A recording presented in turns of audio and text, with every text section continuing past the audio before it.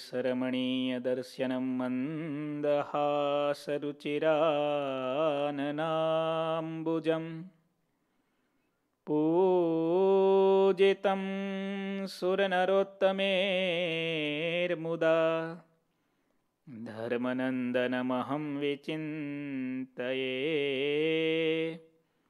ઓમ અવતારિણે શ્રી સ્વામિનારાયણાય નમો નમઃ શ્રી સહજાનંદાય નીલકંઠાય ચ નમો નમઃ શ્રી ગુરુચરણકમલેભ્યો નમો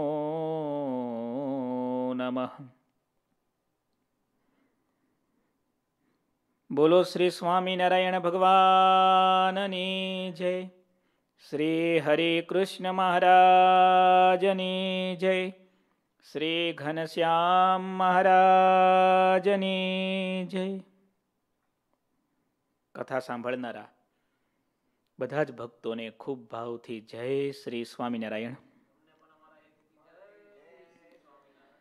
શ્રી હરિચરિત્રામૃત સાગર પૂર સાતમું તરંગ ત્રેવીસમું ભગવાન શ્રી હરિ સંતોને વિચરણમાં મોકલવા માટે આજ્ઞા કરશે એ પ્રસંગ આ તરંગમાં આપણે શ્રવણ કરીશું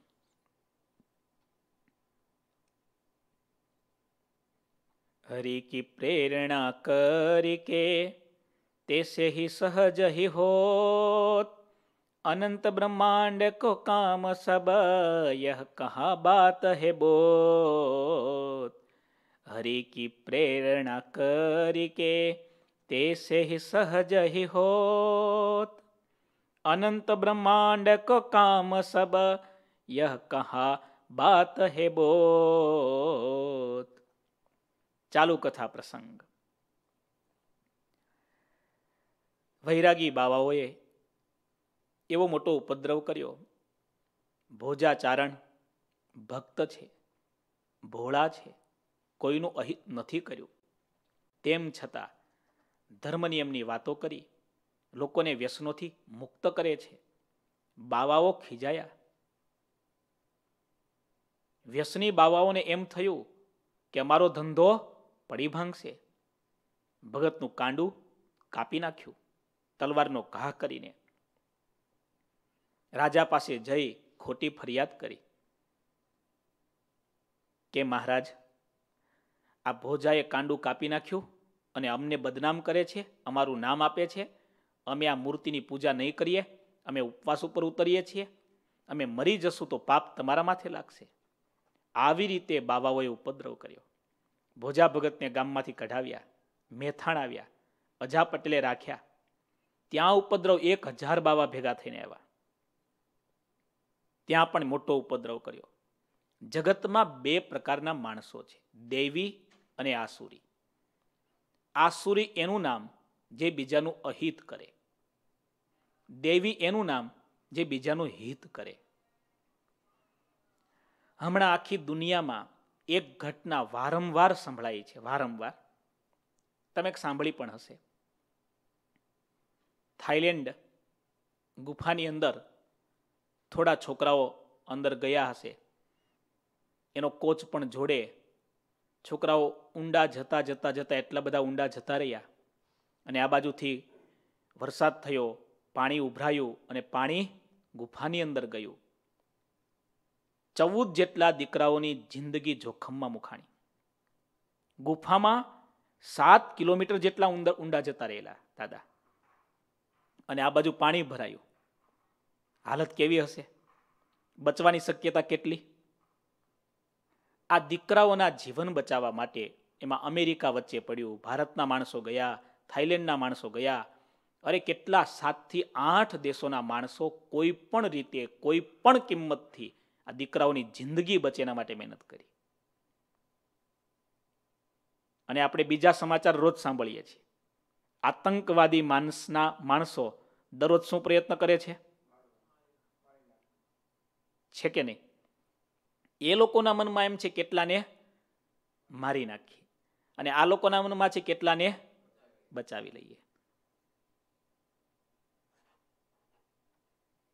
દૈવી અને આસુરી કેમ ઓળખવા? રાવણની માથે પણ શિંગડા નહોતા. આજના રૂપાળા રાવણની માથે શિંગડા નથી હોતા. બીજાનું અહિત ઈચ્છે, અહિત કરે, અહિત બોલે, એનું નામ આસુરી. બીજાનું હિત કરે, હિત ઈચ્છે, હિતકારી જ બોલે એનું નામ દેવી. અજાભાઈ એમણે ભોજાચારણને રાખ્યા. પોતે ગામના પટેલ હતા. સુરવીર હતા. કોઈનું નામ ન લે. હજાર બાવા ભેગા થઈ એ ગામમાં આવ્યા. મેથાણમાંથી કાઢિયાને આખા વઢવાણ પંથકમાં એક ગામમાં ન ટકવા દઈએ. આવું નક્કી કર્યું, બોલો. ઉપદ્રવ મોટો થયો. અજા પટેલને થયું. ઠાકોર સાહેબ પાસે જઈએ, રાજા પાસે, અને હવે રાજા દ્વારા કંઈક નિર્ણય કરાવવો પડશે. અજા પટેલ બહાર ગયા. આ કુસંગી બાવાએ એવો ધમાલ કરી, ભોજા ભગતના મનમાં એમ થયું કે મારા એકને લીધે આટલા બધા લોકોને હેરાન થવું પડે. એના કરતાં હું જ થોડો હેરાન થયો અને ખસી જાઉં, તો બધાને શાંતિ. ભગત જતા રહ્યા. આ બાજુ બાવા રાજી થયા. માલપુડાની રસોઈ જમવા બેઠા. અને બન્યું શું? અજા ભગત અજા પટેલ ત્યારે જ આવ્યા. આ દ્રશ્ય જોયું કે બાવા તો ઉપવાસ ઉપર હતા. ત્રણ દિવસથી ખાધું નહોતું. માલપુડા છે ના એમણે પ્રતિજ્ઞા કરી હતી ને, ગામમાંથી ભોજાભાઈ જાય, તો જ અમે જમીશું. ભોજા ભગત ગામ છોડીને નીકળી ગયા. અજા પટેલને એટલું બધું દુઃખ થયું. ભગવાન સ્વામિનારાયણનો એક ભક્ત, એક સાચો માણસ, એક સહજાનંદી ભગવાનનો ભક્ત. એની પાછળ દુષ્ટ માણસો આવી રીતે પડ્યા છે અને આ ગામમાંથી પણ ભગાડ્યો એને? મારી ગેરહાજરી હતી થોડી વાર એટલી વારમાં? એમને થયું, હવે કડવા શબ્દ વાપરવા પડશે. એક સંતના, એક ભક્તના પક્ષને ખાતર ગામના લોકોને એવા ધમકાવ્યા, કુસંગી લોકોને એવા ધમકાવ્યા, સત્સંગી હતા અને કુસંગીના દાબમાં દબાઈ ગયા હતા, એને પણ ખીજાયા. અને પેલા વૈરાગી બાવાઓને પણ જે કહેવા જેવું હતું ને બધું ચોખ્ખે ચોખ્ખું કહી દીધું. સાચા ભક્તની સહાય કરતા કદાચ માથું કપાઈને. તો શાસ્ત્ર એમ કહે છે કે માણસના કરોડો જન્મના પાપને ભગવાન માફ કરે છે. સત્યને ખાતર કરેલી કુરબાની એનો એટલો મોટો આપણા મહિમા શાસ્ત્રમાં લખ્યો છે. અજા પટેલે આવો પક્ષ રાખ્યો. બાવાની અંદર પણ એવા બાવાઓ હતા જે દેવી હતા. એને એમ થયું, ભગતની વાત સાચી છે. ભોજાભાઈ કંઈ બગાડતા નથી, કોઈનું ખોટું કરતા નથી, કોઈનું ખોટું બોલતા નથી, આ બધા શા માટેની પાછળ પડ્યા છે? સારા બાવા હતા, એ બધાએ હાથ જોડ્યા. ભગત મારી ભૂલ થઈ, ભૂલ સ્વીકારી. માફી માગી. હવે મેં ક્યારેય પણ કોઈનો દ્રોહ નહીં કરીએ. પણ આ અજા પટેલ કે એમ નહીં? પાક્કું કરો. લખાણ કરો. બીજા બાવાને કીધું, તમે બધામાં તૈયાર થાવ તો માલપુડા ખાવા મળશે. બાકી માર ખાવા મળશે આજે તો. અને એકદમ વાત સાચી છે. આ જગતમાં છે ને, ભોળા થવામાં પણ મજા નથી, દાદા, હા. પેલી વાત છે ને, ચાંગા ગામનો નાગ હતો અને ગોપાળાનંદ સ્વામી પછી આશીર્વાદ આપ્યા. એટલો સીધો થઈ ગયો, છોકરા પૂંછડી ખેંચે, પથરા નાખે એની માથે, લોહી લુહાણ થઈ ગયો. ગોપાળાનંદ સ્વામી ફરીવાર પધાર્યા, નાગને વાચા ફૂટી. સ્વામી, મારી હાલત તો જુઓ. સ્વામીએ કહ્યું, અમે તને કરડવાની ના પાડી છે. ફૂફાડો માંડવાની ક્યાં ના પાડી છે? અમે તને કરડવાની ના પાડી છે, ફૂફાડો મારવાની ના નથી પાડી. જગતમાં ક્યારેક ફૂફાડો તો રાખવો પણ પડે. શાસ્ત્ર એમ કહે છે, પિતામહ ભીષ્મએ ક્રોધ ન કર્યો, એ પાપ બની ગયું. બાકી પિતામહ ભીષ્મએ હસ્તિનાપુરની સભામાં દ્રૌપદીના ચિરહરણ થાય અને ક્રોધ કર્યો હોત ને, તેનો ક્રોધ પુણ્ય બની જાત.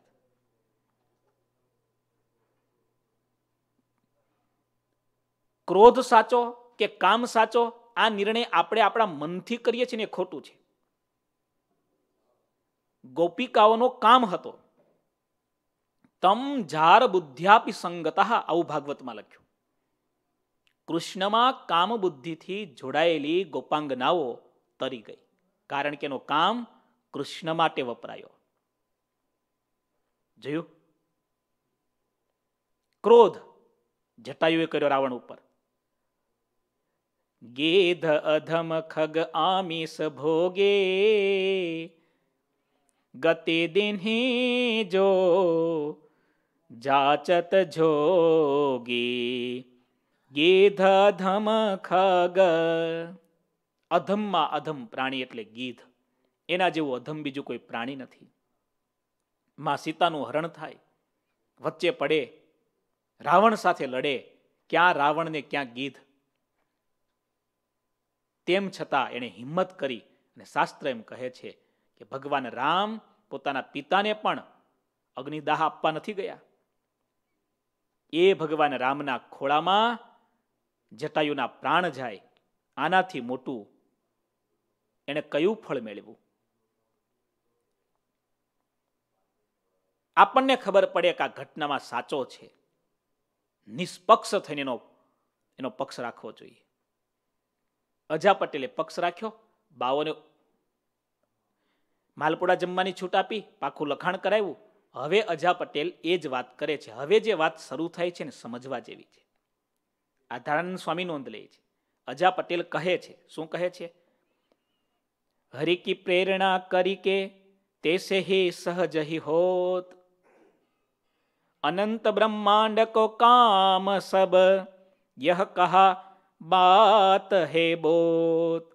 ભગવાન શ્રીહરિની પ્રેરણાથી અનંત કોટી બ્રહ્માંડના બધા કામ સહેજે થઈ રહ્યા છે. અનંત કોટી બ્રહ્માંડમાં જે કંઈ થાય છે, કોની ઈચ્છાથી થાય છે?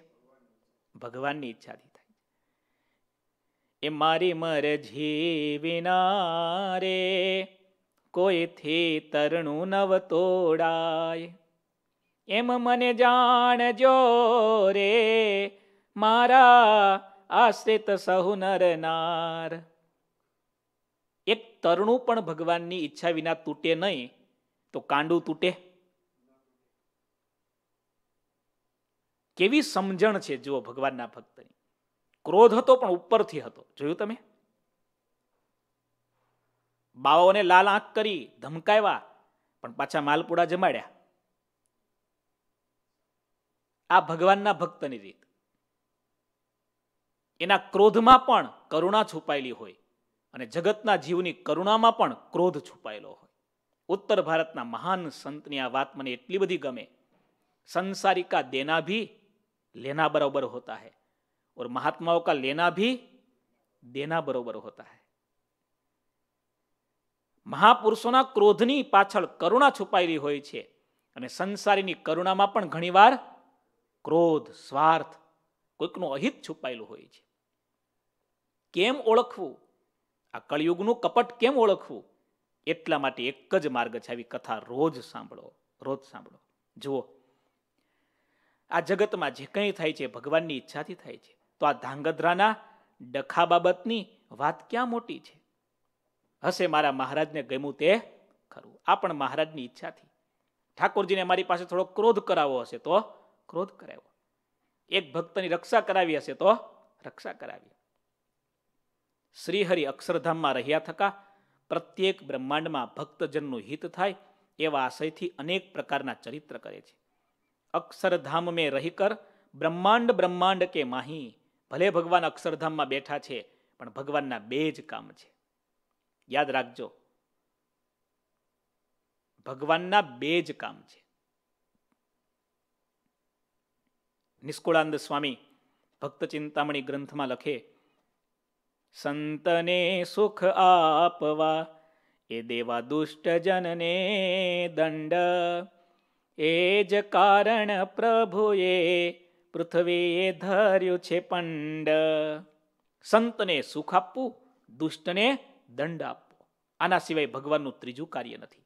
ગીતાજી એમ કહે છે, પરિત્રાણાય સાધુનામ, વિનાશાય ચ દુષ્કૃતામ. ભગવાનના બે જ કામ છે.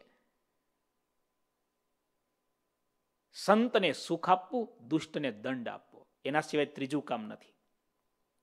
અનંત કોટી બ્રહ્માંડમાં જે કંઈ થાય છે, કોની ઈચ્છાથી થાય છે? ભગવાનની ઈચ્છાથી થાય છે. આ સમજણ કોની છે?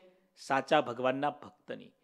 આવી સમજણ આવે ને, પછી રાગ અને દ્વેષ એના બંધનથી માણસ પર થઈ જાય. કોઈ આપણું અહિત કરે, એની સાથે આપણને તેજો દ્વેષ ન થાય. હા, દૂર થઈ જઈએ આપણે અને થવું પણ જોઈએ. પણ દ્વેષ એ પણ ખરાબ છે અને રાગ એ પણ ખરાબ છે. ભગવાનનું કરતાપણું જેને ખબર પડે ને, એ રાગ અને દ્વેષના બંધનથી દૂર થઈ જાય. અક્ષરધામમાં બેઠા બેઠા પ્રભુ પોતાના ભક્તની રક્ષા કરે છે અને એટલા માટે અનેક પ્રકારના ચરિત્રો કરે છે.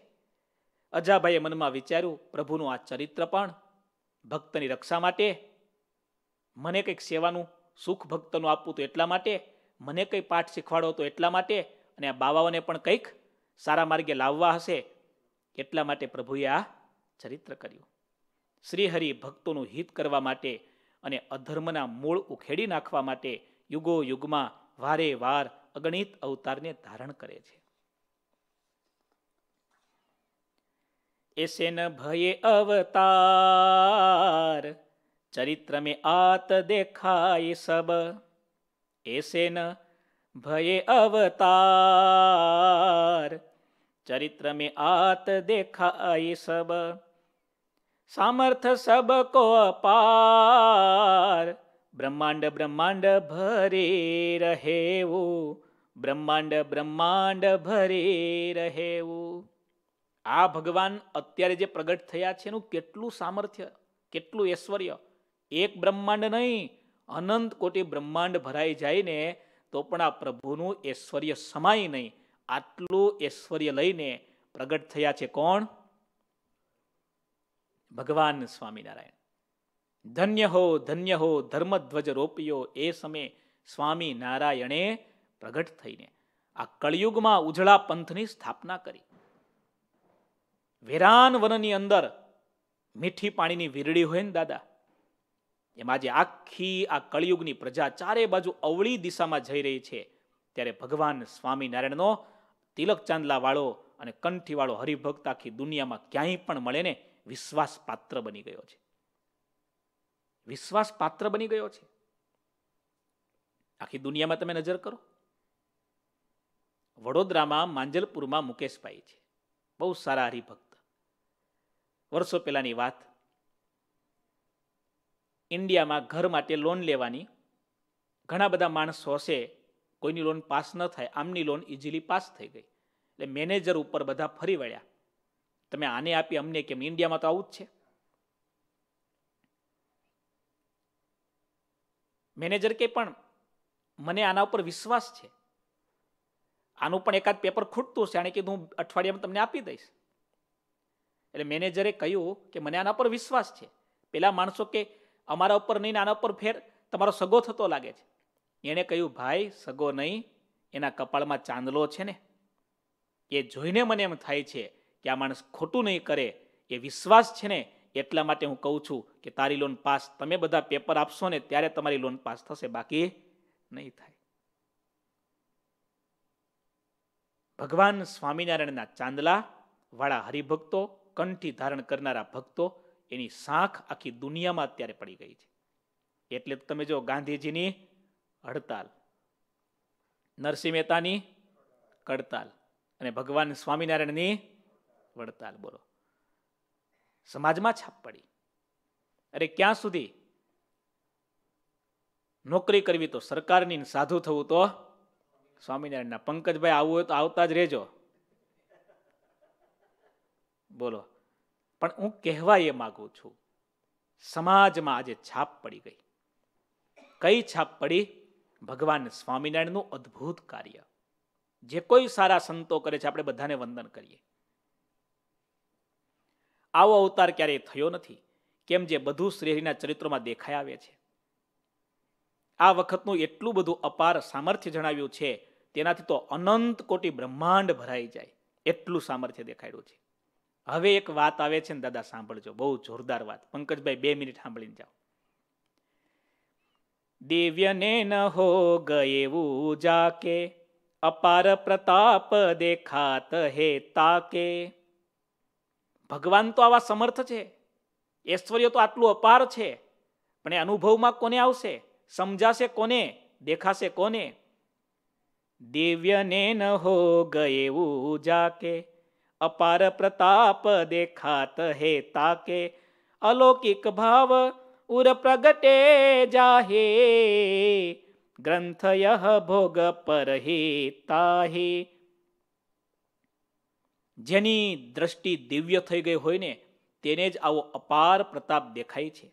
અને જેના હૃદયમાં અલૌકિક ભાવના ઉદય થાય છે ને, તેને જ આવા ગ્રંથનો યોગ પ્રાપ્ત થાય છે. આવા ગ્રંથ, આવી કથા, આવો સત્સંગ. થોડે પુણ્ય હોય નહીં, હરી હરી કથાનો પ્રસંગ. દિવ્ય દ્રષ્ટિ. હવે આ દાદા દ્રષ્ટિની વાત આવે ને, તો હવે દિવ્ય દ્રષ્ટિની ઓળખાણ શું તમે કહો લો? ચશ્મા પહેર્યા હોય એટલે? એના કોઈ એવા ચશ્મા આવે? દૂરબીન આવે કે એ પહેરી લો એટલે તમારી દ્રષ્ટિ દિવ્ય થઈ જાય. જેમ તમારે ચંદ્રને જોવો હોય તો તમે બાયનોક્યુલર કે પેલું શું, પેરિસ્કોપ કે ટેલિસ્કોપ જે કહેવાય તે એમાં તમે આંખો બરાબર તાકો તો તમને દેખાવા લાગે, ચંદ્રની સપાટી કેવી છે શનિ ક્યાં ફરે છે ત્યારે મંગળભાઈ શું કરે છે? બરાબર.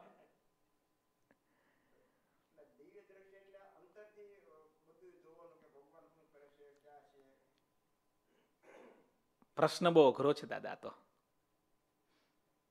તમે તો દિવ્ય દ્રષ્ટિવાળા છો એટલે તમારી વાત તો ન થાય, પણ અમે ઘણીવાર ફરીએ છીએ ને, લોકો સાથે મળીએ છીએ ને. એવા એવા અનુભવ થાય દાદા, એવા એવા અનુભવ થાય. બસ આજે કરવા જેવું આટલું જ છે. હું ઘણી વાર કથામાં ગાઉં છું ને.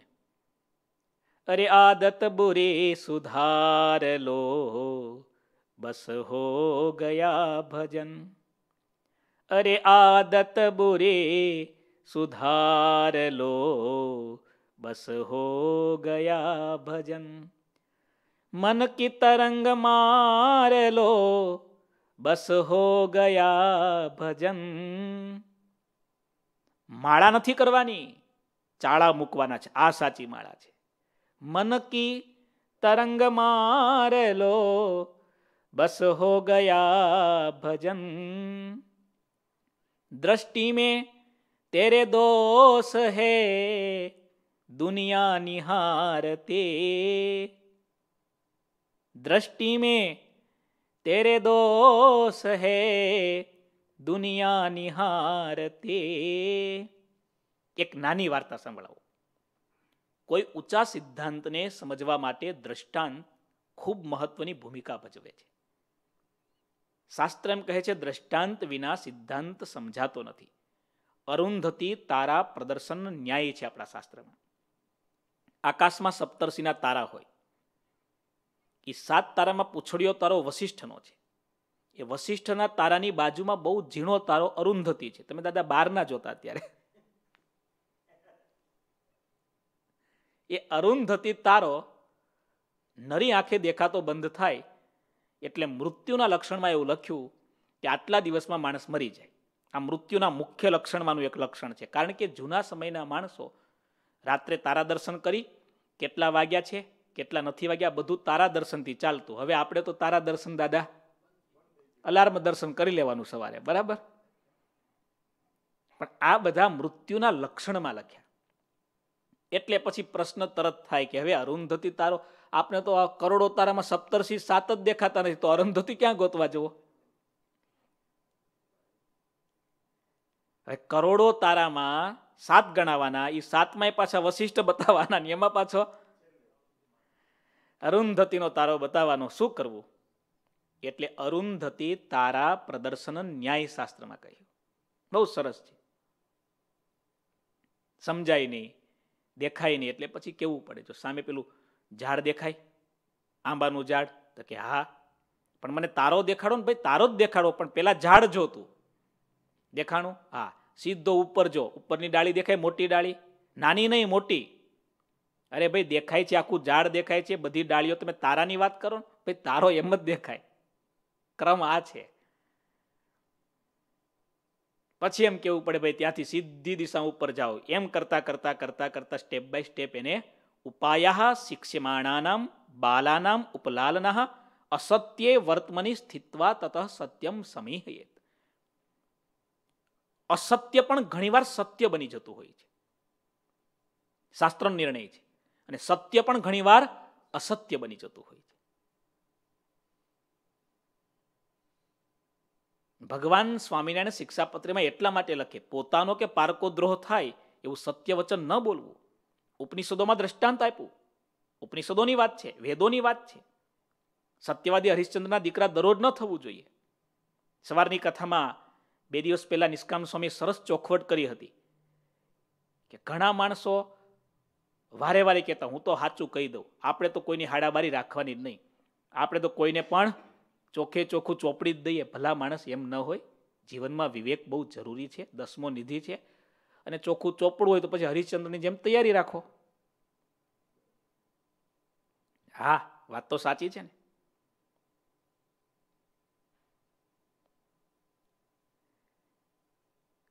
એક કસાય ગાયની પાછળ પડેલો ગાય ભાગતા ભાગતા આગળ નીકળી ગઈ. એમાં એક ઋષિ એનો આશ્રમ, નાની ઝૂંપડી, એમાં એ ધ્યાન કરે. ત્યાંથી બાજુમાંથી ગાય નીકળી ગઈ.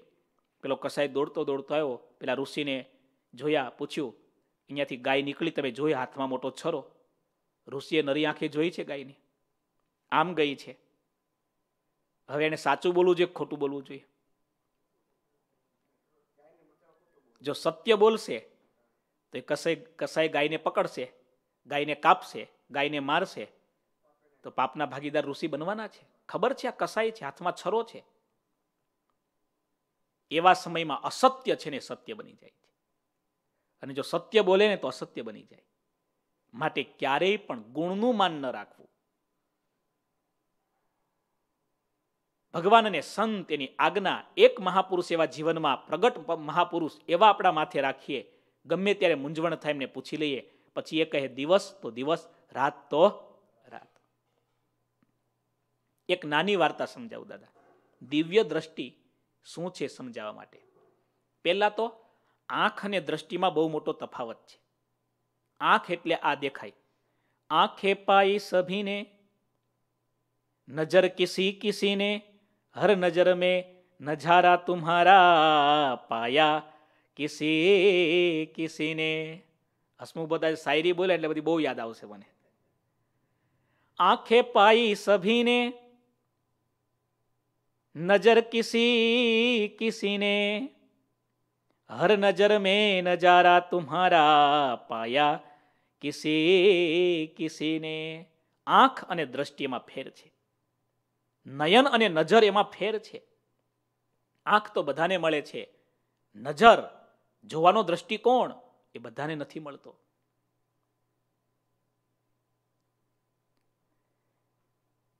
એક નગર, એમાં એક કઠિયારો, એણે જંગલમાં ચંદનનું ઝાડ જોયું. ચંદનના ઝાડને કાપી, સારા લાકડા તૈયાર કરી, નગરમાં વેચવા માટે બેઠો. એ મોંઘા ચંદનના લાકડા કોણ ખરીદે? દિવસો ગયા, કોઈ ખરીદનાર ન મળ્યો. પેલા કઠિયારેને થયું કે નગર યાત્રા કરવા માટે ગામનો રાજા રોજ સાંજે નીકળે છે. તો રાજમાર્ગ ઉપર હું બેસું. કદાચ જો રાજાની નજર પડી જાય, તો મારું ચંદન વેચાઈ જાય. કારણ કે આ મોંઘી વસ્તુ રાજા સિવાય તો કોઈ લેવાનું નથી. એટલે રાજમાર્ગ હતો, એની બાજુમાં એ કઠિયારો લાકડા બધા પાથરીને બેસી ગયો. રાજા ત્યાંથી રોજ નીકળે. નીકળે એટલે રાજાની દ્રષ્ટિ પણ પડે, આંખ પડે, કઠિયારને પણ પડે. એક દિવસ, બે દિવસ, ત્રણ દિવસ, ચાર દિવસ, પાંચ દિવસ. રાજાને લેવાનો વિચાર આવે નહીં. હવે કઠિયારના વિચારો બદલવા લાગ્યા. કઠિયારને એમ થયું કે રાજા આમ ચંદન નહીં લે, પણ જો રાજા મરી જાય ને, તો મારું ચંદન બધું જ વેચાઈ જાય. કારણ કે રાજા મરે, એ સાદા લાકડામાં તો બળે જ નહીં. એટલે આ રાજા મરે તો એની ચિત્તા સળગાવવા માટે આ બધા લાકડા વેચાય, તો મારું કામ થઈ જાય. વગર કામના વિચારો કેવા ચાલુ થઈ ગયા? હા. જીવનમાં બહુ સમજવા જેવી આ વાત છે. વાત નાની છે, પણ સમજવા જેવી છે. આપણા સંતો એમ કહેતા, સુખ અને દુઃખ. આ બંને વસ્તુ છે ને, આપણે માનીએ છીએ એવું છે જ નહીં.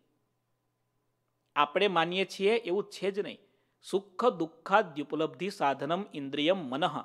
આપણા શાસ્ત્રોમાં નિર્ણય કરવામાં આવ્યો. સુખ અને દુઃખ આ બંને મનની પ્રોડક્ટ છે. કેની પ્રોડક્ટ છે? મનની પ્રોડક્ટ છે. સારા વિચાર, એનું જ નામ સુખ. ખરાબ વિચાર, એનું જ નામ દુઃખ. સાનુકૂળ વિચાર, એનું જ નામ સુખ. પ્રતિકૂળ વિચાર, એનું જ નામ દુઃખ. એક કરોડોપતિનો દીકરો, કરોડોપતિની દીકરી, હેત થઈ જાય, ભાગી જાય, જંગલમાં, ઝૂંપડામાં સુખ માનીને રહે છે. બોલો. રહે છે કે નહીં? કેવા આપણે દાખલા જોઈએ છીએ? કોઈક ઝૂંપડામાં સુખ માનીને બેઠા છે. તો કોઈક બંગલામાંય દુઃખી છે. સારા વિચાર એનું નામ સુખ છે. નબળા અને નક્કામાં વિચાર એનું નામ દુઃખ છે. આજે બંગલામાં પણ ઘણા લોકો મોટું દુઃખ અનુભવે છે. એટલા માટે તો આત્મહત્યા કરે છે. દુઃખ આત્મહત્યા ક્યારે કરે? દુઃખનો સોલ્યુશન કરવાનો કોઈ ઉપાય છેલ્લે જડે નહીં, ત્યારે માણસ એટલી હદ સુધી દુઃખી થઈ જાય કે શું કરી નાખે પછી? આત્મહત્યા કરી જીવનમાં દ્રષ્ટિકોણ બહુ મહત્વનો છે. તમે બધા, હું પેલું એક લાવવાનું છું એકવાર, મને ટાઈમ દાદા બહુ બીજી રહું છું ને ઈચ્છા તો ઘણી બધી છે. Five best lessons of life આખી દુનિયામાં સર્વે થયું છે. જીવન માટે કેટલી વસ્તુ જરૂરી છે? પાંચસો વસ્તુ, પાંચ હજાર વસ્તુ? Only five things only five to live a best life બરાબર? હેપી લાઈફ પાંચ વસ્તુ. એમાંનો એક બહુ સારો વિચાર છે. બીજા શું વિચારે છે? એ વિચાર કરીને જ દુનિયાના મોટા ભાગના દુઃખી થાય છે. કેવી રીતે? બીજા શું વિચારે છે એ વિચારીને બધા દુઃખી થાય છે? આ બહુ અવળો, અવળી વસ્તુ છે. બીજા જે વિચારે છે, એનો સ્વતંત્ર અધિકાર છે. મારે શું વિચારવું છે? મારે શું કરવું છે? આટલું જ જો વિચારતો માણસ થઈ જાય ને, સુખી થઈ જાય, દાદા, બોલો. વાત કેવી છે? હવે આ કઠિયારો બેઠો બેઠો શું વિચારવા મળ્યો હવે આવા વિચાર એ કઠિયારાને સુખી થવા દે. કઠિયારો બળતરા રોજ અને બળતરા કહેવાય, ચિંતા કહેવાય. એને ચિંતા થઈ કે હવે રાજા મરે ને વેલો. પ્રાર્થના કરતો છે ભગવાનને કે આને જલ્દી હવે મોટો રોગ થાય અને વેલો મરે તો અમારા લાકડા ખપી જાય. આમ કરતા કરતા રોજ રાજા નીકળે ને આના વિચારો રોજ આવા ચાલુ થયા. એમ કરતા કરતા રાજા એટલો ધાર્મિક પ્રજા પોષક પ્રજાપ્રિય. આઠ, દસ દિવસ પછી રાજાના મનમાં એક દિવસ વિચાર આવ્યો કે આ વચ્ચોવચ્ચ લાકડા પાથરીને બેસી ગયો છે. એકે લાકડું એનું જતું નથી. લાકડે લાકડે મારવો જોઈએ આને. અહીંયા બેસાય. ફાંસી ચડાવી દેવો જોઈએ. મારી નાખવો જોઈએ. રાજાના મનમાં ચાલુ થઈ ગયા વિચાર. રાજા સજ્જન હતો. સતામ હિ સંદેહ પદેશુ વસ્તુસુ પ્રમાણમંત કર્ણ પ્રવૃત્તય. સારા સંત અને ભક્ત હંમેશા પોતાના અંતઃકરણ ઉપર કેમેરો રાખીને બેઠા હોય. રખેને મારા મનમાં ખોટો વિચાર તો નથી આવી જતો ને. કેમેરો પ્રોપર્ટી ઉપર રાખવાની જરૂર નથી. કેમેરો મન ઉપર રાખવાની જરૂર છે. દલાઈ લામા. એનું બહુ આ સરસ આના ઉપર એક પ્રવચન છે કે માણસે કેમેરો પોતાના મન ઉપર, પોતાના વિચાર ઉપર મૂક. કેમ કે વિચાર સારા થઈ ગયા એટલે બધું જ સારું થવાનું. આજે માણસના વિચાર જ નબળા થઈ ગયા છે નેગેટિવ થઈ ગયા છે. સારામાં સારા મિલિયન ડોલરના બંગલામાં બેઠો હોય એર કન્ડિશન ચાલતું હોય, બધું બરાબર ચાલતું હોય તો એના મનમાં તો બંગલો વિચાર શું ચાલતો હોય? ફલાણા ભાઈનું એક્સિડન્ટ થાય ને તો રાજાના મનમાં આવા વિચારો થયા. રાજા સજ્જન હતો, ધાર્મિક હતો. બે ચાર દિવસ એને બળતરા થવા લાગી. રાત્રે સુવા જાય તો પણ એ વિચાર ચાલુ રહે. ભાઈ, કઠિયારાએ મારું કંઈ બગાડ્યું નથી. અને આમ વગર વાક્ય કોઈને ફાંસીએ ચડાવો હોય તો રાજાનો કેટલો મોટો અપરાધ છે. મારો રાજધર્મ ખલાસ થઈ જાય. આ વિચાર આવ્યા ક્યાંથી? એટલે મંત્રીઓને બોલાવ્યા રાત્રે. થોડા દિવસથી મારા મનમાં આવા નબળા વિચારો આવે છે. અને આવી રીતે કોઈ માણસને ફાંસીએ ચડાવી દેવો, એ રાજધર્મ કહેવાય. મારા વિચાર જો રોક, રોકાશે નહીં, તો ક્યારેક આ વિચાર વ્યવહારમાં, આચારમાં બદલી જશે. એટલે વિચાર આચાર બની જશે તો વર્તન થઈ જશે. તો મારા હાથે કોઈ પાપ ન થઈ જાય. તમે ધ્યાન રાખજો. આ વિચારનું કારણ શું? મંત્રીએ ખૂબ વિચારીને કહ્યું, મહારાજ, એના કરતાં, તમે એના વિશે ખોટું વિચારો છો. એના કરતાં આપણે આવતીકાલથી એની પાસેથી બબ્બે મણ લાકડા લેવાનું ચાલુ કરી દઈએ ચંદનના લાકડા છે, ભગવાનના કામમાં વપરાશે. એટલે ઓટોમેટિક તમારું, તમારા વિચાર બદલશે, એના વિચાર બદલશે. મંત્રીઓની સલાહ માની રાજાએ, એ રોજ બેઠો જ છે. એના લાકડા જ આપણે ખરીદી લઈએ તો એ પણ ઊભો થઈ જશે ત્યાંથી, ખસેડવો પણ નહીં પડે અને આપણું કામ થઈ જશે. આ બાજુ રાજા નીકળે, બે મણ લાકડા લે, બે મણ લાકડા લે, આના લાકડા વેચાવા લાગ્યા, આના વિચાર બદલવા લાગ્યા. હવે વિચાર શું ચાલુ થયા? આ મહારાજ લાંબુ જીવે. ફરીવાર ચંદનનું ઝાડ મળે તોય વેચાઈ જાય. આ બાજુ રાજાના વિચાર પણ every action has same reaction સામે કોઈ માણસ મળે, તમે પગે લાગશો, એ પગે લાગશે. તમે ગાળ બોલશો, એ ગાળ બોલશે. તમે સવળા વિચાર કરશો, તો એક દિવસ આજે ના જે નહીં ઇમિડિયેટલી નહીં, પણ એક દિવસ એના વિચાર પણ સવળા થશે. પણ મોટા ભાગના માણસો શું કરે છે? પેલો એક જીકે તો આ બે જીકે. આ બે જીકે તો પેલો ચાર જીકે. પેલો ચાર જીકે તો આઠ જીકે. હવે આ યુદ્ધનો અંત આવે ખરો? અંતે કોઈકે તો ક્રોધનો જવાબ કરુણાથી જ આપવો પડશે. આ જે શાસ્ત્રનો વિચાર છે, એ દિવ્ય દ્રષ્ટિ છે. હજી સમજવા જેવું છે. થોડું સાંભળીએ, જુઓ. મહારાજ હજી ઘણું કહે છે આના વિશે. આપણને આ શાસ્ત્ર મળ્યા છે. આવા ભગવાન મળ્યા છે. આવો ભગવાનનો પ્રતાપ, ઐશ્વર્ય આવા સંતો મળ્યા છે આપણને, આવા પૂજ્યપાદ ગુરુજી મળ્યા છે. ગુરુજીનો, સંતોનો, ભગવાનનો મહિમા ગાતા હોઈએ, ત્યારે કોઈક નાસ્તિક જેવા જીવ હોય. એને વાત પચે નહીં. અવળું લઈ લે. એને એમ થાય કે આ સંતો પોતે પોતાનો મહિમા ગાય છે. એમ ન સમજે કે આ સંતો પોતાનો નહીં, પણ જે કોઈ સારા સંત ભક્ત છે ને, એનો મહિમા ગાઈ રહ્યા છે.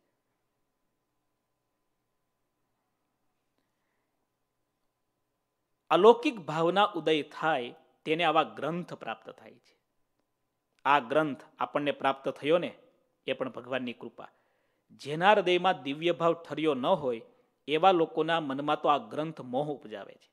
હાથીના જેવું બીજું કોઈ વાહન ન કહેવાય. તે તો રજવાડામાં, મોટા સ્થાનમાં શોભે. પરંતુ કૂતરાને હાથીનો મહિમા ન સમજાય. તે તો ભસી ભસીને મરી જાય. હાથી ચલે બાજાર, કુત્તે ભસે હજાર. પણ હાથીને મનમાં કૂતરાની શંકા રહેતી નથી. તે તો હાથીની ઘણી મોટાઈ છે. તેવી જ આ ગ્રંથની મોટાઈ છે. ટૂંકમાં સ્વામી કહે છે, ગ્રંથની મોટાઈ, ભગવાનની મોટાઈ, સંતોની મોટાઈ એ છે. દુનિયાના ગમે એટલા કૂતરા ભસા કરશે, એમાં કંઈ નાના નથી થવાના. ભસનારાનો હિત થશે. હાથીનું કંઈ હિત થવાનું છે? માટે જીવનમાં એક બહુ સારો વિચાર કરતા શીખો. દિવ્ય દ્રષ્ટિ ઉપર આપણે ઘણા સમય પહેલાં એક નાની વાત કરી હતી. બહુ સરસ આ વાત. ઘણા વર્ષો પહેલાં એક નાનું પ્રેઝન્ટેશન પણ મેં બનાવ્યું હતું. દિવ્ય દ્રષ્ટિ સુધી પહોંચવા માટે એક દિવ્ય વિચાર. તમારા મનમાં કોઈ પણ વિશે નબળો વિચાર આવે ઇમિડિયેટલી વિચાર સ્ટોપ કેમ થાય એનો પ્રયત્ન કરો. વચનામૃતમાં શ્રીજી મહારાજ બોલ્યા, ખરાબ વિચાર આવે, ખરાબ સંકલ્પ થાય અને રોકે નહીં અને વારંવાર સંકલ્પ ખરાબ થવા લાગે તો એને દેહ ભ્રષ્ટ કરે. એને સત્સંગમાંથી પાડી નાખે. એ વિચાર આચાર બની જાય છે. એ વિચાર વર્તનમાં આવી જ જાય છે. ગમે તેમ થાય તો પણ. માટે સંકલ્પ થાય, તુરંત એને સ્ટોપ કરો. સ્ટોપ કરવા માટે શું? ગુણાત્યાનંદ સ્વામીએ કહ્યું, ગોપાળાનંદ સ્વામીની વાતમાં પણ સરસ સ્વામીએ વાત કહ્યું કે કોઈકનો અવગુણ આવે ત્યારે તુરંત એના ગુણનો વિચાર કરવો. તો એ અવગુણ છે એ શાંત થઈ જશે. આ ગુણનો વિચાર થાય, ત્યાર પછી બીજો વિચાર છે ઉપકારનો વિચાર. કયો વિચાર? એક માણસે એક માણસનું કામ ન કર્યું. બરાબર? એટલે પ્રશ્ન થાય છે. લગભગ આવું જ છે. સ્વામી, મેં પેલા માટે કેટલું કર્યું? મારે ખરે ટાઈમે આટલી બસ ખાલી પાંચ હજારની જરૂર હતી, બોલો. હા, મેં ન જોયું. મને કે નથી. હવે પાંચ હજાર ન આપ્યા, એ વાત દસ હજાર વાર કરે આ લોકો. આ અમે ઘણા સાંભળ્યા છે. અરે ભાઈ, ના પણ ભૂલી જાઓ. બીજી કંઈક વાત કરો. આ તો એકને એક એટલું લઢ્યા કરે, એટલું લઢ્યા કરે. પાંચ હજાર ન આપ્યા હોય એ વાત કેટલી વાર કરે દાદા? દસ હજાર વાર કરે, બોલો. નબળા વિચારો છે ને, એને કાઢવા માટેની આ ટેકનિક છે. ગુણનો વિચાર કરો. ત્યારબાદ ઉપકારનો વિચાર કરો. કોઈએ આપણું સારું કામ એકાદ વાર જિંદગીમાં કર્યું હોય, એને પણ યાદ રાખો. નથી કર્યું એ નહીં. કર્યું એને યાદ રાખો. પૂજ્યપાદ ગુરુજી અમેરિકામાં હતા. એક હરિભક્તે ગુરુજીનો વીસ વર્ષથી દ્રોહ કર્યો છે, વીસ વર્ષથી. એટલો બધો દ્રોહ વાત જ ના પૂછો. એના ઘરની એક દુર્ઘટના ઘટી. ગુરુજીને સમાચાર મળ્યા. ગુરુજીને થયું, નહીં, આપણે તો સાધુ છીએ. આપણે તો ભૂલવું જોઈએ. અમે બધા સંતોએ કીધું, ગુરુજી, હવે આપણે પણ ગુરુજી કહ્યું, નહીં, આપણે જવું જ છે. ગુરુજી ગયા. પણ આશ્ચર્યની વાત હરિભક્તોએ પણ કહ્યું, ગુરુજી, આપણે આપણે શા માટે જવાની જરૂર છે? ત્યારે ગુરુજીએ શું કહ્યું ખબર? આપણે અહીંયા અમેરિકા સુધી બેઠા છીએ ને, એમાં એમનો બહુ મોટો ફાળો છે. કોઈક માણસના એકાદ ગુણને પણ, એકાદ ઉપકારને પણ મોટા પુરુષે કેટલા પકડી રાખ્યા છે? જુઓ. દિવ્ય દ્રષ્ટિ, જોયું તમે આ? ગયા, એવા પ્રસંગમાં ગયા, તો પણ એમણે દ્રોહ કરવામાં કશું બાકી ન રાખ્યું. તો પણ ગુરુજીને બે ત્રણ હરિભક્તો કે અમે કીધું તું ને, આના કરતાં ના ગયા હોત તો સારું હતું. ત્યારે ગુરુજી શું બોલ્યા ખબર? હું જોડે હતો, મને ખબર છે. ગુરુજી એમ બોલ્યા, એણે જે કર્યું તે, શ્રીજી મહારાજ રાજી થયા ને આપણા ઉપર. મહારાજને તેમ થયું હશે ને, કે આ સાધુની મેં કસોટી કરી, આ કસોટીમાં સાધુ સોએ સો ટકા પાસ થયા. આપણે મહારાજ માટે કરીએ છીએ. એણે જે કર્યું એ જાણે, પણ આપણે કર્યું, એમાં તો મહારાજ ચોક્કસ જોડે રાજી થયા ને. વિચારો તમે. કોઈ પણ જીવ, એના ગુણનો વિચાર, એના ઉપકારનો વિચાર ને એના મહિમાનો વિચાર. આવતાની સાથે એક વિચાર શરૂ થાય તમારા મગજમાં, એને દિવ્ય વિચાર કહેવાય. ચાર વસ્તુ છે. પહેલા દિવ્ય વિચાર થાય. વિચાર તમારો દરરોજ દિવ્ય બની જાય. એટલે એક વિચાર દિવ્ય કરો. કોઈ પણ સારો વિચાર કરો. આજ સુતા સુતા મહારાજે આખા દિવસ દરમિયાન કંઈક સારું તમારું કામ કર્યું હોય. અણધારી કૃપા કરી હોય. વિચારો. એ વિચાર દિવ્ય વિચાર કહેવાય. કોઈ પણ બાબતનો. એ દિવ્ય વિચાર, દિવ્ય બુદ્ધિને જન્મ આપે છે. કોને? પછી આપણી બુદ્ધિ દિવ્ય બની જાય. એટલે પછી આપણી બુદ્ધિ ગમે ત્યાં જાય, ત્યાં ઓટોમેટિક શું આવશે? પછી દિવ્ય વસ્તુ જ આવશે, પછી નેગેટિવ આવશે જ નહીં. એ દિવ્ય બુદ્ધિ જે છે, એને શાસ્ત્રમાં દિવ્ય દ્રષ્ટિ કહી. શું કહ્યું? દિવ્ય વિચાર દિવ્ય બુદ્ધિને જન્મ આપે છે. દિવ્ય બુદ્ધિ દિવ્ય ભાવ એટલે હૃદય દિવ્ય બની જાય. પછી અહિત કરનારા ગમે તેવા જીવ હોય, એના પ્રત્યે પણ એને ઘૃણા, દ્વેષ પ્રગટ નથી થતી. એ દિવ્ય ભાવ છે. અને દિવ્ય ભાવ જ્યારે પ્રગટેને હૃદયમાં દિવ્યતા પ્રગટેને ત્યારે દિવ્ય જીવન ડિવાઇન લાઈફ શરૂ થાય છે. ચાર વસ્તુ. દિવ્ય વિચાર, દિવ્ય બુદ્ધિ, દિવ્ય ભાવ અને દિવ્ય જીવન. દિવ્ય વિચારમાંથી જે દિવ્ય બુદ્ધિ જન્મે છે, એનું જ નામ શાસ્ત્રમાં દિવ્ય દ્રષ્ટિ છે. આજે યાદ કરીએ, મેં દાખલા જોયા છે એટલે. ધ્યાની સ્વામીજી, કેટલા મહાન સંત, ભગવાન જેવા સાધુ, એનું ઐશ્વર્ય પણ એવું અદ્ભુત જોયું છે, એટલું અદ્ભુત. પૂજ્યપાદ ગુરુજીની સાથે મેં હતા. સ્વામીશ્રીનું કેટલું મોટું અપમાન થયું. કેટલું મોટું અપમાન. સંતો, ભક્તો કેટલા બધા બેઠા હતા? વાત નીકળી. ના ના ના ના મહારાજે સારું કર્યું છે, મહારાજે સારું કર્યું છે. એ મારે મહારાજે સારું કર્યું છે, લો. સ્વામી, વાત જ કાપી નાખી. વાતને આગળ વધવા જ ન દીધી.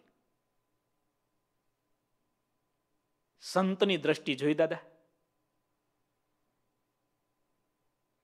વાતને આગળ જ ન વધવા દીધી. જે કર્યું, મહારાજે સારું કર્યું છે. એ મારીને આપણું હિત કર્યું છે, લો. હવે અહિત કરનારામાં પણ હિત દેખાય. એ મહાપુરુષનું કોઈ અહિત કરી શકે ખરા? ફાનુસ બનકર હિફાજત જિસકી હવા કરે, ઓ દિયા ક્યાં બુજે જીસે રોશન ખુદા કરે. શું લખ્યું હે?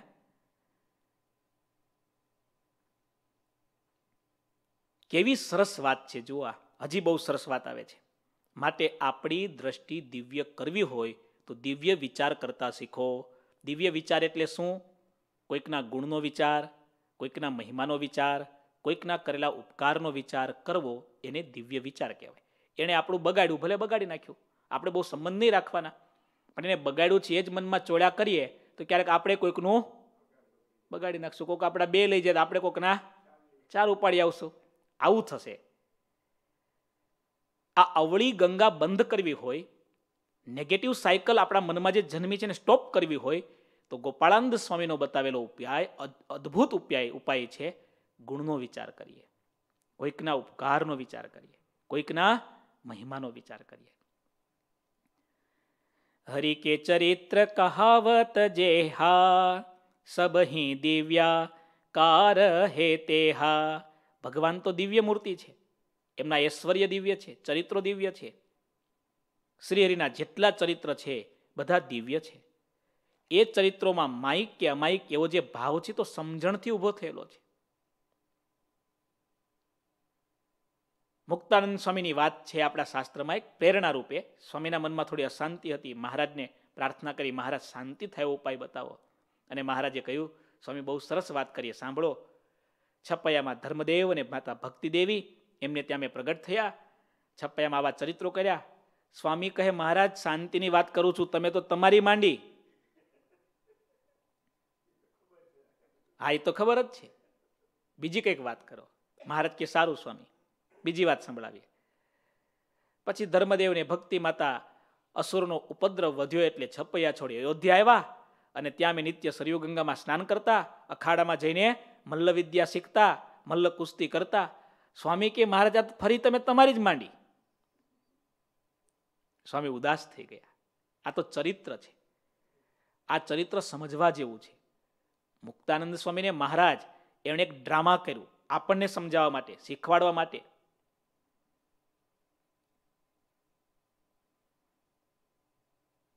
શ્રીમદ ભાગવતમાં એટલી સરસ વાત આવે છે. આ સંસાર રૂપી સાગરમાં ડૂબતા માણસ માટે ભગવાનના ચરિત્ર એ તો જહાજ સમાન છે. કળિયુગના ઝેર પીનારા જીવો માટે ભગવાનના ચરિત્ર એનાથી વધુ કોઈ અમૃત આ પૃથ્વી ઉપર નથી. આ અમૃત છે દાદા. કેવી કથા વાર્તા આપણે રોજ સાંભળીએ છીએ. અમૃત કરતા પણ મીઠો રસ છે એટલે નામ છે હરિચરિત્રામૃત સાગર. અમૃતનો સાગર છે. કયો અમૃત? સ્વર્ગના દેવોવાળું અમૃત નહીં. આ તો અક્ષરધામના અધિપતિ એના ચરિત્રનો અમૃત છે. સ્વર્ગના અમૃત કરતા પણ ઉત્તમ અમૃત છે. પણ આ બધું સમજાય કોને? દિવ્ય દ્રષ્ટિવાળાને. હું તમને નાની વાત પૂછું. એક લોહીનું ટીપું પડ્યું હોય અને એ ટીપું ડૉક્ટરને આપવામાં આવે એ એક લોહીના બુંદમાંથી, બરાબર? In a single drop of a blood, એની અંદરથી ડૉક્ટરને કેટલું દેખાય? એમાં એની હિમોગ્લોબિન દેખાય, રેડ સેલ દેખાય, એમાં વ્હાઇટ સેલ દેખાય, સુગર દેખાય બરાબર? ટાઈફોઈડ હોય તો એ દેખાય. કેટલું દેખાય? અને આપણને શું દેખાય ટીપામાં? કશું દેખાય દાદા? એક ડોક્ટરની દ્રષ્ટિએ પહોંચેલા માણસને લોહીના બુંદમાં કેટલું દેખાય છે, કેટલું સમજાય છે? આ દુનિયાની નાનકડી વસ્તુને સમજવા માટે પણ એક દ્રષ્ટિ જોઈએ, એક દ્રષ્ટિકોણ જોઈએ, એક અનુભવી બુદ્ધિ જોઈએ. એક પથ્થરનો ટુકડો પડ્યો હોય ચમકતો, ઝવેરીને એમાં શું દેખાય? અને સામાન્ય માણસને પથરો દેખાય. બસ એમ જ ભગવાન કે સંત, ભક્ત કે ભગવાનના કોઈક ઓલિયા પુરુષ એને ઓળખવા માટે આપણી દ્રષ્ટિ દિવ્ય કરવી જરૂરી છે. એ દિવ્ય દ્રષ્ટિ કેવી રીતે થાય? કેવળ ને કેવળ. આવી કથા વાર્તા સાંભળીએ. સાંભળ્યા પછી ખાલી સાંભળી નાખીએ નહીં, સાંભળી રાખીએ. એમાં મનન કરીએ, જીવનમાં એપ્લાય કરીએ, ઉતારીએ. દાદા, એક નાની વાત. જીવનથી જીવન ઘડાય છે. જ્યોતથી જ્યોત પ્રગટે છે. ભગવાનનું કે ભગવાનના મહાપુરુષો, સંતો, ભક્તો એના ચરિત્ર બધામાં જે ભગવાનના ચરિત્રમાં મહિમા છે, એટલો જ મહિમા ભગવાનના સંત અને ભક્તના ચરિત્રનો છે. આજે મને કોઈક મેસેજ મોકલ્યો હતો. સુરતના ડાયમંડ કિંગ જેને ગણાય છે, એવા ગોવિંદભાઈ ધોળકિયા. આમ તો એટલું મોટું એમનું નામ છે, પણ એમનું નામ એવું કહેવાય છે ગોવિંદભાઈ ભગત. ભગત તરીકે જ ઓળખાય છે. આખી દુનિયાને ભગત તરીકે જાણે છે. આમના વિશે શૈલેષભાઈ સગપરિયા ખૂબ સારા એક લેખક, ચિંતક એ હમણાં મળ્યા. એણે એક નાની નોંધ લીધી. હું વાંચું છું એમની જ નોંધ. ગોવિંદભાઈ ધોળકિયા એટલે શૂન્યમાંથી સર્જન કરનાર કર્મનિષ્ઠ અને જ્ઞાની ઉદ્યોગપતિ જે ભક્તિથી ભીંજાયેલા છે. ધનપતિ છે, પણ કેવા છે? અમે હમણાં ઋષિકેશ હતા. ઋષિકેશમાં રહેનારા સંતોએ વાત કરી. એવરી યર પંદર દિવસ આવવાનું અને એકાંતમાં રહીને ભજન કરવાનું બોલો. આજે આખી દુનિયામાં જેનું નામ છે. ભારતના મૂર્ધન્ય ઉદ્યોગપતિમાં જેનું સ્થાન છે. એવા વ્યક્તિની એક નાની કથા. માત્ર સાત ચોપડી ભણેલા માણસે પોતાના બાહુબળે અબજો રૂપિયાનું ઔદ્યોગિક સામ્રાજ્ય ઊભું કર્યું. મસ્તક આકાશે આંબવા છતાં, એનું માથું આકાશ સુધી પહોંચી ગયું છે. છતાં એ માણસના પગ હજી ધરતી ઉપર છે ને, આ બહુ મોટું આશ્ચર્ય છે. તમે એમને મળો તો ચોક્કસ સાદગી અને શાલીનતા નીતરતી દેખાય. નાઇન્ટીન સિક્સટી ફોરની સાલમાં પોતાનું વતન છોડી હીરા ઘસવા માટે સુરત આવ્યા. પહેલો પગાર એકસો ને ત્રણ રૂપિયા હતો એમનો. આખી ઘટના બધા ગ્રહસ્થોને કામ લાગે એવી છે. એટલા માટે વાંચું છું. નાઇન્ટીન સિક્સટી એઇટ, ચાર વર્ષ પછી. સુરતમાં ડોંગરેજી મહારાજની ભાગવતની સપ્તાહ હતી. ગોવિંદભાઈ કુતૂહલવશ આ કથા સાંભળવા ગયા. ડોંગરેજી મહારાજની કેટલીક વાતો હૃદય સોંસરી ઉતરી ગઈ. સાત દિવસની કથા સાંભળવાનો નિર્ધાર કર્યો. પરંતુ કારખાનાના શેઠ રજા આપવાની ના પાડતા હતા. કારખાનાનું કામ ન અટકે એવી રીતે વચ્ચેનો રસ્તો કાઢ્યો, જેમાં દિવસે કથા સાંભળવાની અને આખી રાત હીરા ઘસવાના. આવી રીતે તેમણે સાત દિવસની આખી ભાગવત કથા સાંભળી અને ભાગવત કથાના સભામંડપમાં જ કેટલાક સંકલ્પ બીજ રોપાયા, જે આજે વિશાળ ઔદ્યોગિક સામ્રાજ્યમાં પરિવર્તિત થયા. ગોવિંદભાઈ ભગત, એનો વીડિયો આપણે ઘણા સમય પહેલા મંદિરમાં બતાવ્યો હતો. ગુરુજીએ મને મોકલ્યો હતો. ગુરુજીએ ખાસ કહ્યું તો આ સંતોને, ભક્તોને બતાવજો. ગુરુજીને વીડિયો એટલો બધો ગમે છે. ઘણીવાર ગુરુજીએ સંતોને બતાવ્યો છે. અમે વિચરણમાં તો હરિભક્તોને બતાવ્યો હતો. આટલા મોટા ઉદ્યોગપતિ, પણ હૃદય એનું ભક્તનું છે. એની આ દ્રષ્ટિકોણ, એમાં ફેર શરૂ ક્યાંથી થયો? ભાગવતજીની કથાથી. હું કહેવા એ માગું છું. જે કોઈ પરિવર્તન આવે છે કથાથી આવે છે. દુઃખની વાત છે ધર્મ જગતમાં બહુ મોટી મિસ્ટેક લોકોએ કરી છે. કોઈ ધ્યાનને પકડે ને એટલે ધ્યાનવાળા એમ કે બધું ખોટું. તમે ધ્યાન જ કરો. બોલો. અલ્યા ભાઈ તમારે ધ્યાન કરાવવું તો કરાવો, અમને વાંધો નહીં. પણ બીજું બધું ખોટું શા માટે કરો તમે?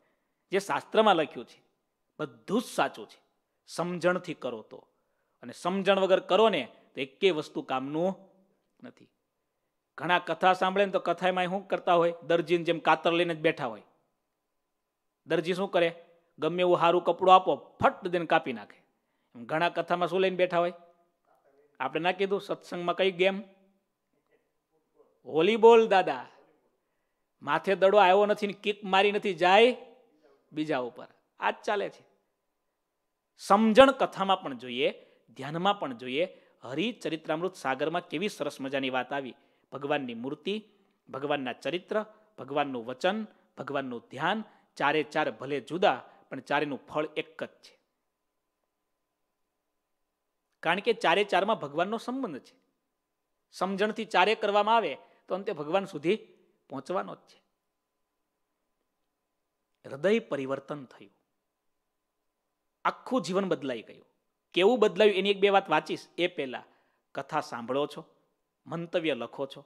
હવે આપણે આપણા જીવનમાં દિવ્ય વિચાર કરતા શીખીએ. આપણા વિચારોને પાછા વાળતા શીખીએ. આપણા મનને કંટ્રોલ કરતા શીખીએ. આ એક ઉદ્યોગપતિ એણે કેટલું પોતાનું જીવન દિવ્ય બનાવ્યું. આજે આ માણસ વિશે એટલું બધું સાંભળવા મળે છે, એટલું બધું મેં વાંચ્યું છે અનેક વાર પણ સાંભળો.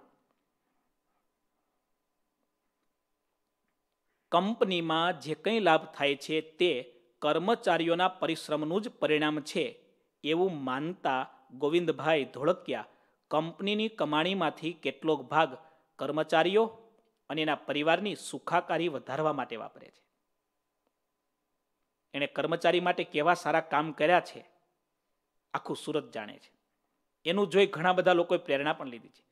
શ્રી રામકૃષ્ણ એક્સપોર્ટ પ્રા, પ્રાઇવેટ લિમિટેડના હજારો કર્મચારીઓને કંપનીના પરિસરમાં જ બપોરના ભોજનની વિનામૂલ્યે વ્યવસ્થા થાય છે. ગોવિંદભાઈ સહિત કંપનીના બીજા ડિરેક્ટરો પણ કર્મચારીની સાથે જ ભોજનશાળામાં ભોજન લે છે. દિવાળી ઉપર કંપનીના કાર્યનિષ્ઠ કર્મચારીઓને કાર, ફ્લેટ વગેરે જેવા કિંમતી ઇનામો આપીને પ્રોત્સાહિત કરે છે.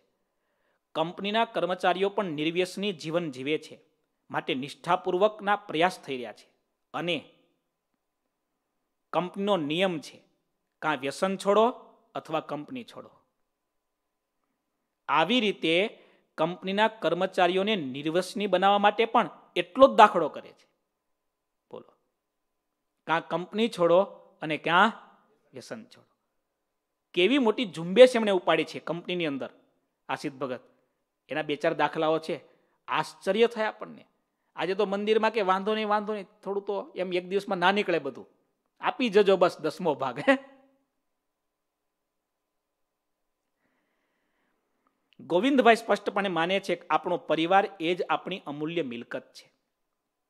સ્ટીવ જોબ મરી ગયા, બહુ નાની ઉંમરે. અચાનક મૃત્યુ થયું. એને છેલ્લા જે શબ્દ લખ્યા છે ને, એ તમે વાંચો ને, એમાં એકલો નિશાસો છે, એકલું દુઃખ છે. કારણ, અચાનક મૃત્યુ આવ્યું. એને એમ લાગ્યું, આખી દુનિયા માટે મેં કર્યું. મારા માટે કશું ના કર્યું. પરિવાર માટે કશું ના કર્યું. પૂજ્યપાત ગુરુજીનું સૂત્ર છે કે તમે ભલે સ્ટોર કરો, બિઝનેસ કરો પણ તમારી સાચી મિલકત તમારો પરિવાર છે. એકવાર પરિવાર સાથે બેસીને ભોજન કરો અને એકવાર ભજન કરો, ખબર છે ને? આપને જાણીને આશ્ચર્ય થશે કે ગોવિંદભાઈ ધોળકિયાના કાકા બાપાના ચાર પરિવારો આઠસોથી વધારે સભ્ય છે. આખો કુટુંબ ભેગું થાય આઠસો માણસનું. તેમ છતાં દર વર્ષે ઓછામાં ઓછા એકવાર આખા આઠસો આઠસો માણસ ભેગા થઈ અને જિંદગીનો આનંદ માણે છે, બોલો. અને આ અમેરિકાવાળા ડોલરની માયામાં પડેલા ઘણા દોડડા એમ કહેતા સ્વામી, અમે તો ચાર જણા ઘરમાં રહીએ છીએ અને ચાર મહિનાથી ચારે ચાર એકવાર ભેગા નથી થયા. લો. એમાં એને પોતાનું ગૌરવ દેખાય કે અમે કેટલા બધા બીજી. પછી સ્વામી, તમે આવો કલ્યાણની વાત કરો ક્યાં ઉતરે? એવું જ છે, દાદા. એક સાથે આઠસો માણસ ભેગા થાય. આખો પરિવાર, બરાબર? હજી એક નાની વાત વાંચી લો. એમના પરિવારમાં સંતાનોને ભણતરની સાથે ગણતરની પણ વિશિષ્ટ તાલીમ અપાય છે. દીકરાઓ તૈયાર થાય, એનું ચોક્કસ ધ્યાન રાખે છે. કેવું ધ્યાન રાખે છે? આ સત્ય ઘટના વાંચું છું. અત્યારે છે. તમારે વીડિયો જોવો હોય તો હું બતાવીશ. જેટલા માતા પિતાએ બધા સાંભળજો, જેના ઘરમાં દીકરાઓએ બધા સાંભળજો, કામ લાગે એવી વાત છે. જે બાપા થઈને બેઠા છે ને, એના માટેની વાત છે. ભણતર સાથે ગણતરની તાલીમ અપાય છે. ધોળકિયા પરિવારના સંતાનને દરેક દીકરાઓને ફરજિયાત એક મહિના માટે ગુજરાતની બહાર કોઈ અન્ય રાજ્યમાં મોકલવામાં આવે છે. જ્યાં અજાણ્યા બનીને અજાણ્યા માણસની ત્યાં નોકરી કરવાની અને એક મહિનો પોતાની કમાણીમાંથી સામાન્ય જીવન જીવવાનું આવી રીતે જીવનની વાસ્તવિકતા શીખવાડવામાં આવે છે. બોલો, આજે કોણ આવું દાદા કરે છે દીકરાઓ માટે? આનાથી યુવાનોને સ્વચ્છંદી બનતા અટકાવી વધુ જવાબદાર બનાવવાની તાલીમ અપાઈ છે, વિચારો. છેલ્લી એક વાત વાંચી દો. ઘણી બધી છે. શૈલેષભાઈ સકપરિયા લખે છે, ગોવિંદ કાકાના સાનિધ્યમાં વિતાવેલો બે કલાક જેવો સમય જીવનનું એક અમૂલ્ય સંભારણું બની રહેશે. આ માણસની મહાનતા એવી હતી કે મારે કંપનીની વિઝિટ કરવાની હતી. વિઝિટ પહેલાં મારા ખંભે હાથ મૂકીને મને કહ્યું, જેટલા લોકો આવે છે ને, બધા સારું સારું બોલીને જ જાય છે. પણ તમારે મને ઓછામાં ઓછી ત્રણ ખામીઓ બતાવવાની છે, જેમાં હજુ મારે વધારો સુધાર હજુ મારે સુધારો કરી શકાય. આ વાત મને એટલી બધી સ્પર્શી ગઈ. શૈલેષભાઈ સકબરિયા લખે છે કે સાંભળ્યું હતું સુરત હીરાની ખાણ છે, પણ આવો હીરો જોયા પછી લાગ્યું ખરેખર એ હવે સાહિત્યની ભાષા જે હોય પણ આપણે વાસ્તવિકતા શ્રવણ કરી. હું કહેવા એ માગું છું, જીવનનો આ સાચો દ્રષ્ટિકોણ છે. ભૂલ જોવાની ઈચ્છા થાય તો આપણી જોઈએ અને બીજાનું શું જોઈએ? સારું જોઈએ, ગુણ જોઈએ. તો દિવ્ય દ્રષ્ટિ જન્મે છે. દિવ્ય વિચાર વિના દિવ્ય દ્રષ્ટિ ક્યારેય આવતી નથી. અને દિવ્ય વિચાર આવી દિવ્ય કથાઓ સાંભળ્યા વગર આવતા નથી. માટે દિવ્ય કથા સાંભળવાથી દિવ્ય વિચાર થાય છે. દિવ્ય વિચાર દિવ્ય દ્રષ્ટિને જન્મ આપે છે. અને દ્રષ્ટિ દિવ્ય થાય ને ત્યારે આ બધું સમજાય. બાકી લોકો તો જો એક માયિક ને અમાયિક આવું બધું ચોળ્યા જ કરે. ભગવાન કૃષ્ણ વ્રજમાતા ત્યાં સુધી ભગવાનને પછી મોટા થઈ ગયા, ગોપીઓ સાથે વિહાર કર્યો એટલે ભગવાન મટી ગયા. લો જુઓ તો ખરા બેઠા બેઠા કેવો ધંધો કર્યો આ ધર્મવાળા હોય હે? શાસ્ત્રો વાંચી વાંચીને આ જ કામ કર્યું લાગે છે લોકોએ. બધા લોકોએ. ઘણા પાછા કે શ્રીજી મહારાજ વચનાવટમાં બોલ્યા કે અમને આ વાત કહેતા ડર લાગે છે, બોલો. શ્રીજી મહારાજને ડર લાગતો તો અમે કેવા બેઠા? અલ્યાભાઈ વેદ સત્શાસ્ત્રના અર્થ અવળા કર્યા પંડિતોએ પાપ માર્ગે જઈને પાછા કે એ શ્રીજી મહારાજ જે નહોતા કહી શક્યા ને એ અમે કહીએ છીએ, લો. આ બધાને તો એક સરસ મજાનો પાણીનો હોજ બનાવી. માઇક ને અમાયિક આમ જે જોડા કરે છે, તો સમજણને કારણે છે. ભગવાનના બધા ચરિત્રો દિવ્ય છે. જે ચરિત્રોને માઇક સમજે છે, તેનું ફળ માઇક મળે છે. ચરિત્રોને અમાયિક સમજે છે, તેનું ફળ અમાયિક મળે છે. જેવી સમજણ હોય, તેવો આનંદ રહે છે. તે રીતે જ આ ગ્રંથના ચરિત્રોની બાબતમાં પણ ફળ રહ્યું છે. દસ ચોપાઈ પૂરી થઈ. સરસ કથા છે. આપણે આવતીકાલે આગળ વધીશું. પણ આવતીકાલ ચોવીસ કલાક સુધી તમે બધા થોડો થોડો અભ્યાસ કરજો.